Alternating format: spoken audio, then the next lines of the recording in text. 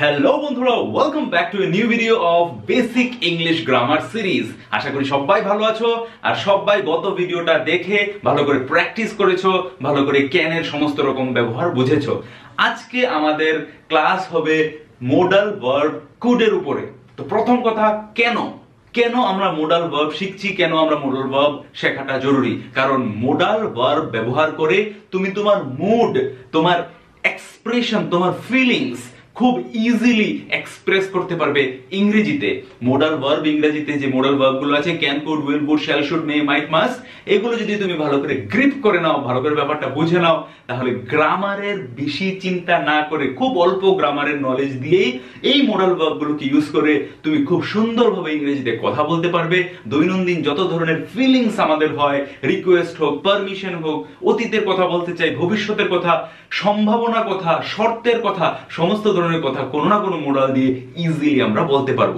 So সমস্ত কটা modal ভার্বই খুবই ইম্পর্টেন্ট কিন্তু খুবই খুবই ইম্পর্টেন্ট যদি বলি very very important modal verbs যেগুলো আছে, তার মধ্যে একটা হচ্ছে আজকেরটা, সেটা হচ্ছে good yes good so could দিয়ে আমি জানি যে তোমরা আগেও অনেক হয়তো ক্লাসেস দেখেছ, অনেক অন্য ধরনের ভিডিও বা বই পড়েছো গ্রামার বই পড়েছো, আর দেখেছ কুডের প্রচুর ধরনের ব্যবহার। ব্যবহার একটা জিনিসের প্রচুর ধরনের থাকতে পারে। কিন্তু আমার কথা হচ্ছে যে আমরা কুটকে দৈনন্দিন জীবনে মানে স্পোকেন ইংলিশে কোথায় কোথায় ব্যবহার করে থাকি, এইটা আগে বোঝা প্রয়োজন। কত ধরনের, ধরো, দশ রকমের ব্যবহার আছে। দশ রকমের ব্যবহার কি আমার প্রয়োজন? মানে তুমি ইংরেজি বলতে গেলে কি দশ রকমের ব্যবহার প্রয়োজন? প্রয়োজন না। তো কোন কোন জায়গাগুলো আছে যেখানে আমরা কোডের ব্যবহার করে থাকি, সেগুলো আজকে বাংলায় বুঝব আগে তারপরে দেখব ওগুলো স্ট্রাকচার কীরকম হয়, আর ওই সব সিচুয়েশনে কীরকম সেন্টেন্স আমরা ব্যবহার করে থাকি। সো ভালো করে যদি কোড বুঝতে হয় এবং কোড ব্যবহার করে সেন্টেন্স বানাতে হয়, তাহলে ভিডিওটা স্কিপ না করে লাস্ট অব্দি দেখতে থাকো। আমি গ্যারান্টি যে আজকের ভিডিওর পরে কোড দিয়ে তোমরা ইজিলি সেন্টেন্সেস বানাতে পারবে। সো মেইনলি চার ধরনের সিচুয়েশনে আমরা কোডের ব্যবহার করে থাকি। ফোর টাইপস অফ সিচুয়েশনস প্রথম সিচুয়েশন পোলাইট রিকোয়েস্ট বা পারমিশন আমি গত ভিডিওতে তোমাদেরকে বলেছিলাম যে পারমিশন তিন রকমের হয়। কত ধরনের পারমিশন হয়? তিন রকমের মানে তিন ভাবে আমরা পারমিশন চেয়ে থাকি। কি কি? একটা হচ্ছে ফর্মাল আশা করি সবার মনে আছে ফর্মাল ফর্মাল পারমিশন যেরকম may I coming sir may I coming ma'am may দিয়ে আমরা ফর্মাল পারমিশন চাই। মে দিয়ে। সো এটা মে এর ক্লাসে ভালো করে দেখব। দুই নাম্বার কি ছিল? দুই নাম্বার ছিল ইনফর্মাল মানে একটু ক্যাজুয়াল বন্ধুদের মধ্যে কলিগসদের মধ্যে, ঠিক আছে?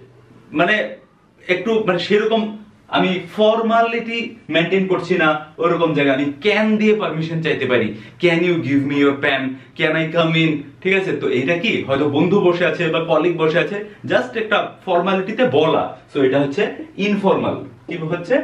ইনফর্মাল আমরা বলি না ফর্মাল শার্ট আর ক্যাজুয়াল শার্ট সো এটা ক্যাজুয়াল বা ইনফর্মাল বলতে পারো। ক্যাজুয়ালও বলতে পারো। তো ক্যাজুয়াল মানে কি? একটু অফিসিয়াল না, একটু আনঅফিসিয়াল আর কি। আর তিন নাম্বার কি ছিল? কি বলেছিলাম? মনে আছে? যে পোলাইট পোলাইট পোলাইট মানে কি? পোলাইট মানে হচ্ছে খোসামত করা। খোসামত করা বা নম্রভাবে, খুবই ভদ্রভাবে বলা খোসামত করে বলা। ওটাকে বলে পোলাইট তো পোলাইট ব্যবহার করি আমরা কুড আর উড পোলাইটলি যদি বলতে চাই, কাউকে খোসামত করে পারমিশন চাইতে চাই, কাউকে খোসামত করে রিকোয়েস্ট করতে চাই কিছু জন্য, তো এখানে আমরা কুড আর উডের ব্যবহার করি। ঠিক আছে? তুমি কি আমাকে এক গ্লাস জল দিতে পারবে? তুমি কি আমাকে এই জিনিসটা একটু বাজার থেকে এনে দিতে পারবে? এই যাওয়ার সময় দরজাটা বন্ধ করে দিয়ে যাও না। ঠিক আছে? এই রিমোটটা আমার হাতে দাও না একটু। বন্ধু দেখল এই রিমোটটা দে তো একটু হাতে। ভাই please can you give me the remote কিন্তু এইখানে কোড লাগিয়ে একটু মাখন লাগিয়ে বাটারিং করে আমরা রিকোয়েস্ট করব আর পারমিশন করব। তো এইটা শিখব। এক নাম্বার কুডের ব্যবহার, যেটা ম্যাক্সিমাম ডে টু ডে লাইফে আমরা স্পোকেন ইংলিশে ব্যবহার করে থাকি। কুড লাগিয়ে রিকোয়েস্ট করার জন্য আমাকে একটু ঘর বাড়িতে ছেড়ে দিতে পারবে, আমাকে একটু বাড়িতে ড্রপ করে দেবে তোমার বাইকে ঠিক আছে? এই তুমি আমাকে একটু দু হাজার টাকা ধার দেবে, আমাকে একটু হেল্প করবে। এরকম ধরনের যে কথাগুলো, ওখানে আমরা পারমিশন বা রিকোয়েস্ট করছি তো? রিকোয়েস্ট করছি বা পারমিশন চাইছি। এরকম ধরনের সিচুয়েশন আমরা কোডের ব্যবহার করব। এক নাম্বার। দুই নাম্বার, দেখো পসিবিলিটি পসিবিলিটি মানে কি? সম্ভাবনা। সম্ভাবনা, অতীতের সম্ভাবনা, বর্তমানের সম্ভাবনা, ভবিষ্যতের সম্ভাবনা। আজকে বৃষ্টি হতে পারে। কালকে বৃষ্টি হতে পারত। গতকাল বৃষ্টি হতে পারত। আগামীকাল বৃষ্টি হতে পারে। মানে আজকে বৃষ্টি হতে পারে। এখানে আমি ব্যবহার করব পরে। জাস্ট প্রথম বুঝে যে কোন কোন সিচুয়েশন আমরা ব্যবহার করে থাকি। বাংলায় ব্যব- ব্যবহারগুলো বোঝাটা খুবই ইম্পর্টেন্ট একবার বাংলায় ব্যবহারটা বুঝে যাও, তারপরে ইংরেজির প্রত্যেকটা প্রত্যেকটা সিচুয়েশনে কি স্ট্রাকচার হবে, সেগুলো সমস্ত কিছু আমি তোমাদেরকে বলব, উদাহরণের সাথে বলব, এবং বিভিন্ন উদাহরণের ক্লাসও আলাদা করে দিয়ে দেবো। তো আগে বোঝো যে কি সিচুয়েশনে আমরা কুডের ব্যবহার করে থাকি। ওই সিচুয়েশনগুলো বাংলায় বুঝতে চেষ্টা করো, ওইটা একবার বুঝলে মাথায় থেকে যাবে। পসিবিলিটি ঠিক আছে? আজকে বৃষ্টি হতে পারে। It could rain today simple তো আমি বাংলাই বলছি, আজকে বৃষ্টি হতে পারে, গতকাল বৃষ্টি হতে পারতো বা হওয়ার কথা ছিল, এরকম টাইপের মানে একটা সম্ভাবনা ছিল। কালকে, আগামীকালকে বৃষ্টি হতে পারে, দুই দিন পরে বা ওই ট্রেনটা লেটে আসতে পারে। তো এই যে সিচুয়েশনটা পসিবিলিটি এইখানে ম্যাক্সিমাম জায়গায় আমরা ক্যান দিয়েও কাজ চালিয়ে দিতে পারি। ঠিক আছে? ক্যান দিয়ে কাজ চালিয়ে যেতে পারি। কিছু কিছু জায়গায় যেরকম পাস্টের ক্ষেত্রে ক্যানের পাস্ট কুড হিসাবে ব্যবহার করি। পসিবিলিটি যখন মানে বৃষ্টি হতে পারতো গতকাল, তুমি আমাদের বাড়িতে আসতে পারতে, এরকম জায়গায় আমরা কুড ব্যবহার করি। যখন সিচুয়েশনগুলো এক্সাম্পল দিয়ে আমি তোমাদেরকে বলব স্ট্রাকচার দিয়ে বলব, তখন ব্যাপারগুলো আরও সুবিধা হবে তোমাদের বলার জন্য। কিন্তু আগে বুঝো ব্যাপারটা ভালো করে। নেক্সট হচ্ছে পাস্ট এবিলিটি বা পাওয়ার বা ক্যাপাসিটি ক্যানের ভিডিওতে ফার্স্ট আমরা দেখেছিলাম যে এবিলিটি পাওয়ার বা ক্যাপাসিটি এখানে বলছে যে ক্যানের যত কিছু ইউজগুলো ছিল এবিলিটি আমি কি? আমি মানে আমি পারতাম এটা করতে। আমি সিলিন্ডারটা উঠাতে পারি গত ভিডিওতে ক্যানের ভিডিওতে বলেছিলাম। কিন্তু কুড পাস্ট এবিলিটি আমি পারতাম এটা উঠাতে আগে। ঠিক আছে? আগে আমি চার কিলোমিটার দৌড়াতে পারতাম। আগে আমি দশটা করে রুটি খেয়ে নিতে পারতাম। আগে আমি একবারেই একশো গ্রাম ঘি খেয়ে নিতাম। ঠিক আছে? সো খেয়ে নিতাম, উঠাতে পারতাম মানে এগুলো আমি করতাম, আমার এবিলিটি ছিল, আমার ক্যাপাসিটি ছিল, আমার পাওয়ার ছিল ওগুলো করার, আমি করতাম ওগুলো। এরকম ধরনের জিনিস যদি হয়, তাহলে আমরা কুডে ব্যবহার করব। আর last but not the least not the least মানে কি? Last but not the least যে একটা কথা আছে মানে হচ্ছে লাস্ট মানে এটা, কিন্তু নট দ্য লিস্ট মানে এরকম না যে এটাই শেষ, এরপর আরও থাকতে পারে, কিন্তু আজকের জন্য ইম্পর্টেন্ট এইটুকুই। ঠিক আছে? সো ইমাজিনারি বা আনরিয়াল সেন্টেন্সেস ইমাজিনারি মানে ইমাজিনারি মানে বুঝতে পারছ? ইমাজিন করা ইমাজিন করা, ভাবা। মানে এরকম কোন জিনিস যেটা রিয়েল না আনরিয়েল ঠিক আছে? শর্ত শর্ত।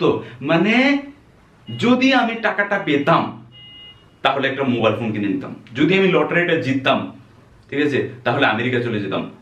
যদি আমি এক বছর আগে জানতাম দাদার স্কুলের ব্যাপারে, তাহলে এতক্ষণ অব্দি ইংলিশ শিখে নিতাম। সো এটা কি রিয়েল রিয়েল না। তো এখানে একটা ছিল কি? পসিবিলিটি সম্ভাবনা, আর এটা হচ্ছে আনরিয়েল দুটোর মধ্যে একটু কানেকশন তো আছে, কিন্তু দুইটা স্ট্রাকচার একটু অন্যরকম হবে। এটা হচ্ছে পসিবিলিটি হতে পারতো।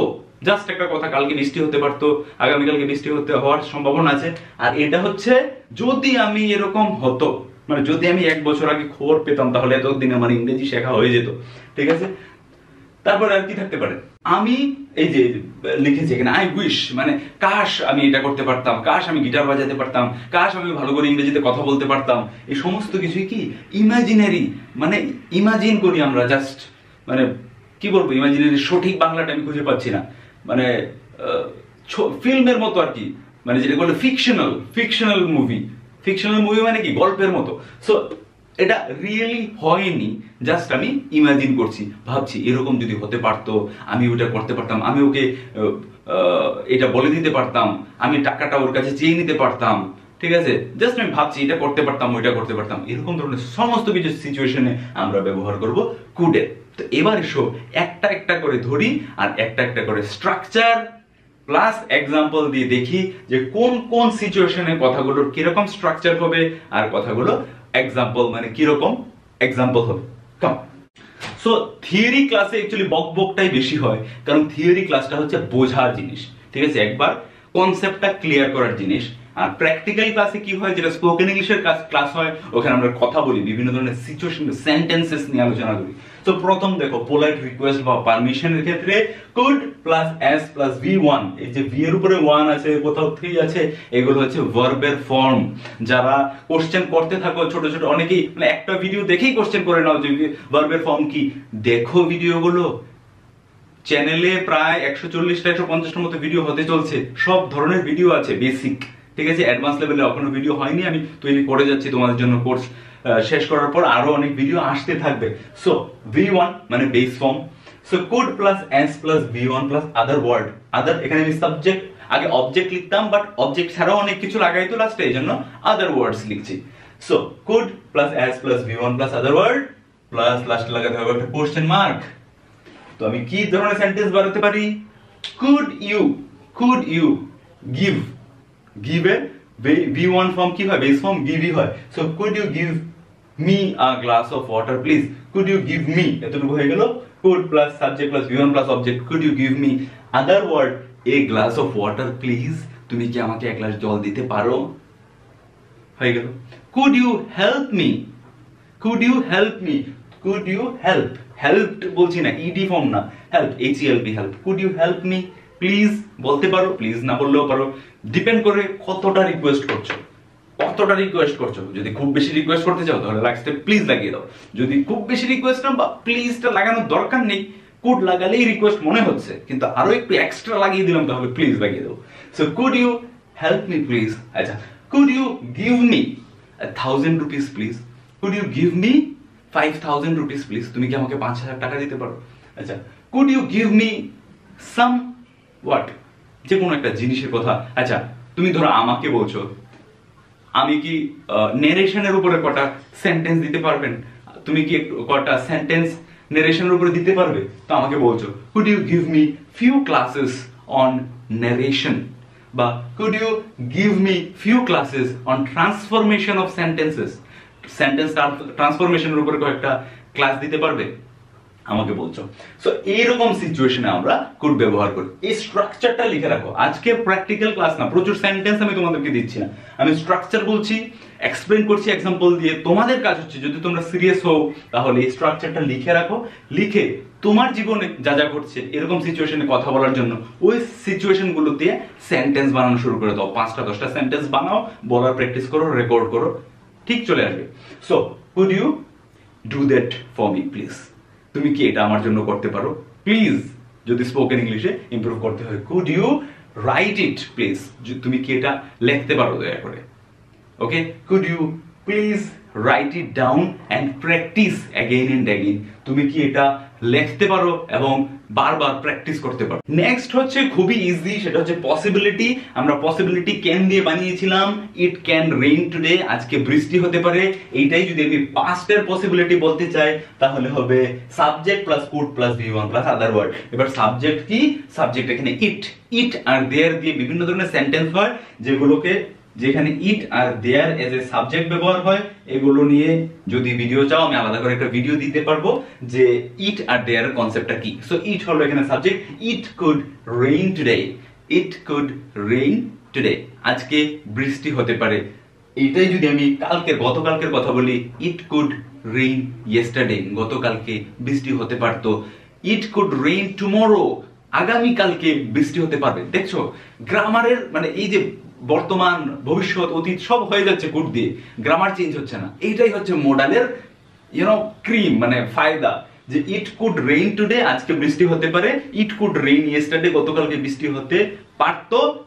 এটা ইট কুড দেখা যাচ্ছে তো স্ক্রিনে ওকে হ্যাঁ।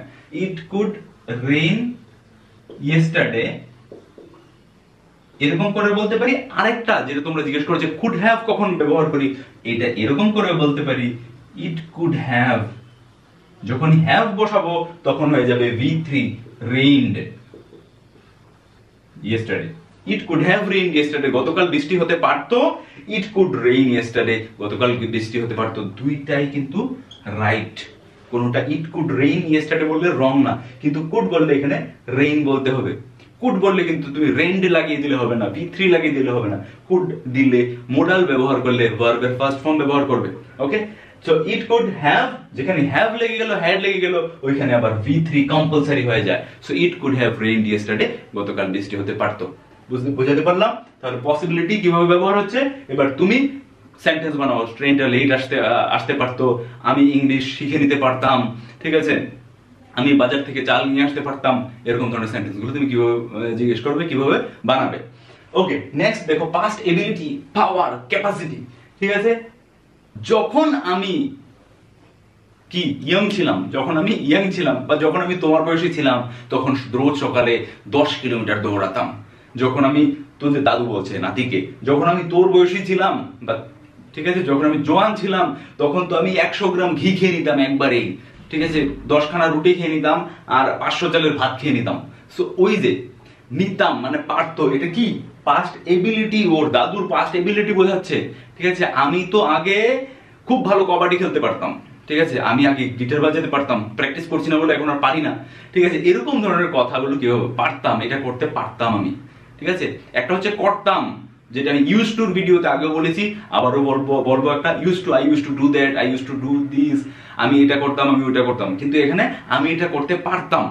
সো আমি এখানে দুটো ভাগ আছে সেন্টেন্সটা একটা হচ্ছে এটা। যারা একটু ইন্টারমিডিয়েট লেভেলে আছো, প্রথম ভাগটাতে কনসেন্ট্রেট করতে পারো। যারা একদমই বেসিক আছো, ওরা শুধুমাত্র দ্বিতীয় ভাগটাতে কনসেন্ট্রেট করো। কুট দিয়ে যতটুকু বানানো হচ্ছে। সো প্রথম ভাগটা কি? যখন আমি ইয়ং ছিলাম, ধরো ফর এক্সাম্পল যখন আমি ইয়ং ছিলাম, তখন আমি চার কিলোমিটার দৌড়াতে পারতাম, এরকম বলছি। তো এটা হচ্ছে পাস্ট এবিলিটি মানে আমার ক্ষমতা, অতীতের ক্ষমতা বলতে বোঝাচ্ছে, অতীতের ক্যাপাসিটি অতীতের পাওয়ার বোঝাচ্ছে। So when subject plus was were plus noun বা আদার ওয়ার্ড সো এটাকে আমি কনভার্ট করছি। এবার সেন্টেন্সে দেখো। ওয়েন সাবজেক্টের জায়গায় আই লাগালাম ওয়েন আই ওয়াজ ইয়াং ইয়াংটা কি? এজ এ নাউন ব্যবহার হয়ে গেল। বা ওয়েন আই ওয়াজ আদার ওয়ার্ডের জায়গায় কি লিখতে পারি? I was at your age যখন আমি তোর বয়সী ছিলাম। দাদু নাদিকে বলছে বা আমি তোমাকে বলছি, যখন আমি তোমার বয়সী ছিলাম। So when I was at your age বা when I was young comma লেগে গেল। I could I could eat ঠিক আছে? কুড লাগল মানে ইটেন ভি থ্রি ফর্ম হবে না কিন্তু কোনো সময়। কুড লেগে গেল মানে V one so I could eat fifty rasgulla. ঠিক আছে? যখন আমি কি ইয়াং ছিলাম, তখন আমি পঞ্চাশটা রসগোল্লা খেতে পারতাম। I could eat fifty rasgulla. তো যখন আমি ইয়াং ছিলাম, তখন আমি পঞ্চাশটা রসগোল্লা খেতে পারতাম বা যখন আমি I could run five kilometres আমি পাঁচ কিলোমিটার দৌড়াতে পারতাম I could eat fifty rasgulla, আমি পঞ্চাশটা রসগোল্লা খেতে পারতাম। ওয়েন আই ওয়াজ ইয়াং বা when I was at your age বা ওয়েন আই ওয়াজ ফিফটিন আমি আমার যখন পনেরো বছর ছিল I could walk ten kilometres ঠিক আছে? আমি দশ কিলোমিটার হাঁটতে পারতাম সো এটা এবিলিটি বোঝাচ্ছে। I could lift twenty five kg rice bag আমি পঁচিশ কেজি চালের বস্তা উঠিয়ে নিতে পারতাম।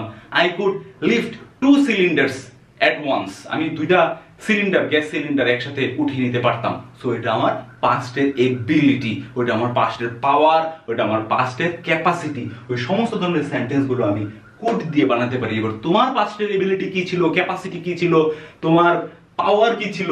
ওই সেন্টেন্স গুলোকে তুমি বানিয়ে আমাকে লিখে দেখাবে কমেন্ট সেকশনে সো ইমাজিনারি আর আনরিয়াল সেন্টেন্স আকাশ আমি গিটার বাজাতে পারতাম। I wish subject plus could plus V one plus object যেখানে কুড লাগালাম ওইখানেই V one so I wish I could play guitar কাশ আমি গিটার বাজাতে পারতাম।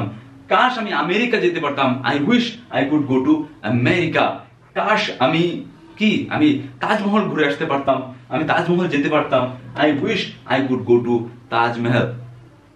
ঠিক আছে? সো যে কোনো জিনিস তুমি উইশ করছ, ঠিক আছে? মানে কাশ আমি এটা করতে পারতাম, কাশ আমি ওইটা করতে পারতাম। ওইটা হচ্ছে এক ধরনের ইমাজিনারি এক ধরনের ইমাজিনেশন আমি এটা করতে পারতাম।